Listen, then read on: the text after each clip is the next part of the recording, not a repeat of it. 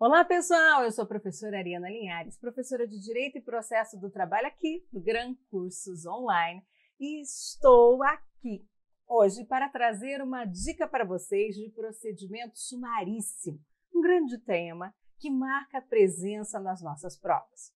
O mais importante sobre o procedimento sumaríssimo está quase tudo concentrado no artigo 852-A e seguintes da CLT. 852-A, B, C, D, E, F, G, H, I da nossa CLT. E vamos aos pontos principais. Primeira coisa que você deve saber: o procedimento sumaríssimo aplica-se aos dissídios individuais.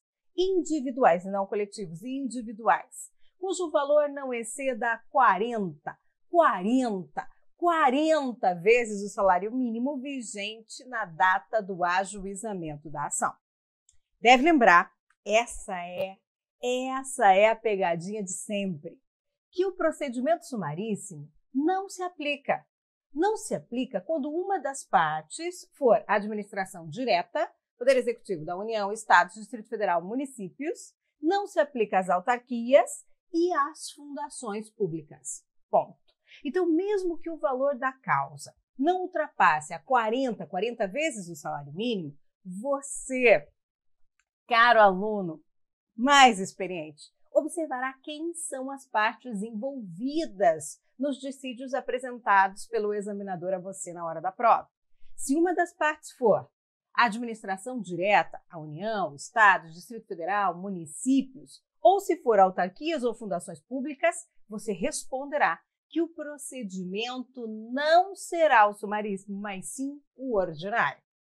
Em contrapartida, mais recentemente, o examinador vem cobrando as empresas públicas e as sociedades de economia mista. Para elas, sim, o procedimento sumaríssimo aplica-se.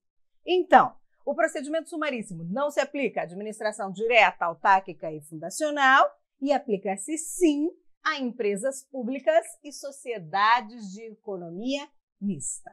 Além disso, quanto ao procedimento sumaríssimo, você deve saber que o número máximo de testemunhas é de duas para cada parte. Enquanto no procedimento ordinário o número máximo de testemunhas é de três, e no inquérito judicial para apuração de falta grave esse número é elevado a seis para cada parte, aqui no nosso querido procedimento sumaríssimo mais célere, o número máximo de testemunhas é de duas para cada parte.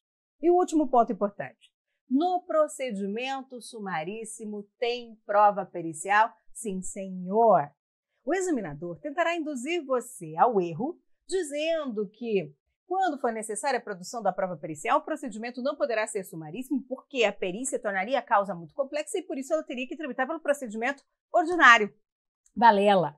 Tem produção de prova pericial no procedimento sumaríssimo? Sim, senhor. E quando? Quando será produzida a prova? Nas mesmas hipóteses do procedimento ordinário. Quer ver? Quando?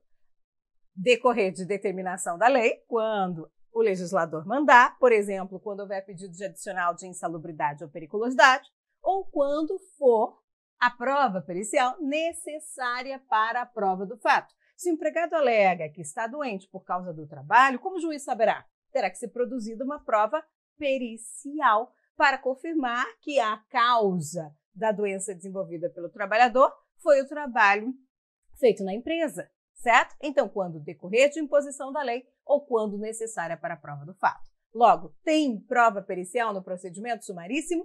Tem, sim, senhor.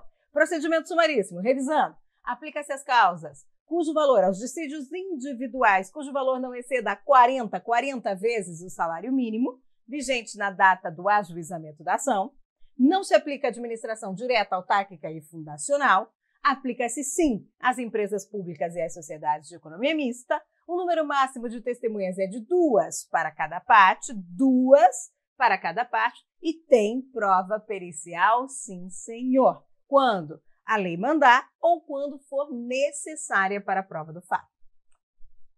Se você gostou da dica, curta o vídeo, compartilhe e nos aguarde nas nossas próximas dicas aqui para você. Um grande abraço, tchau, tchau!